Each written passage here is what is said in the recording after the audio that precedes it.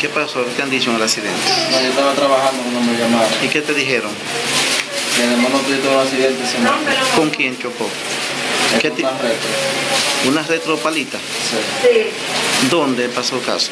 allá arriba. la tuya de Tamarito. De Rafael. ¿Y ustedes con familiares que hicieron, que han hecho, qué piensan de No, esto? no, no sé decirlo, porque estoy diciendo, yo iba a trabajar por Puerto Plata.